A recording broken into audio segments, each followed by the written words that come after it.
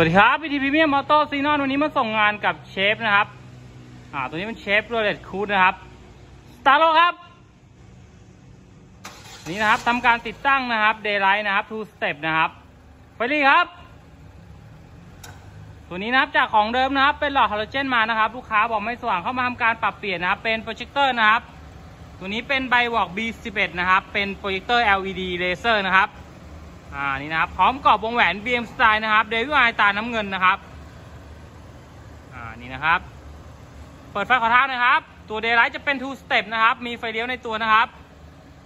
นี่นะครับ ปิดไฟเลี้ยวครับเมื่อเปิดไฟหรี่ขึ้นมานะครับ จะทำงานเป็นตัววงแหวนและ devil eye นะครับ ตาน้ำเงินขึ้นมานะครับ ไฟต่ำครับ เปิดไฟต่ำนะครับ devil eye สีน้ำเงินจะตัดอัตโนมัติเลยนะครับ ตัวนี้นะเป็นไบวอก B11 นะครับ LED Laser นะครับ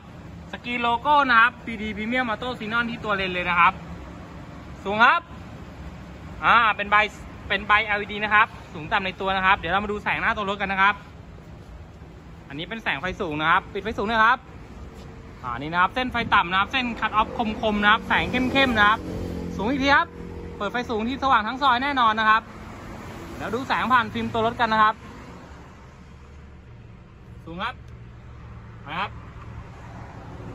แสงในตัวรถและนอกตัวรถนะครับ สว่างไม่ต่างกันเลยนะครับทางร้านนะครับ มีห้องตั้งไฟระดับมาตรฐานนะครับ ลูกค้าท่านใดนะครับ สนใจติดตั้งชุดโปรเจคเตอร์แบบนี้นะครับ สามารถติดต่อเข้ามาได้ที่ทางเพจ Facebook นะครับ BT Premium Auto Xenon ได้ทุกสาขาเลยนะครับ